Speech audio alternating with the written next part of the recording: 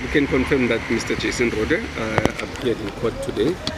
Uh, you will remember that we, the case was postponed to, to this day to determine one of the things was for further investigation and also to determine whether the court can grant him uh, for his application to return to Johannesburg.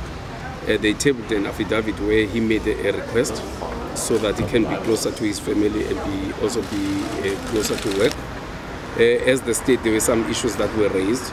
Uh, one or two issues, which include that the, the accused has been suspended from, from work and that his kids, all his kids are at, at, at boarding school uh, in Johannesburg and Eastern Cape. So there was not really a, a need for him to, to, to, be closer home. And also that there was an investigation that was still uh, going on around the issue of his citizenship uh, with Home Affairs. But the court uh, granted him his wish to, to be back in, in, in, Johannesburg with his family.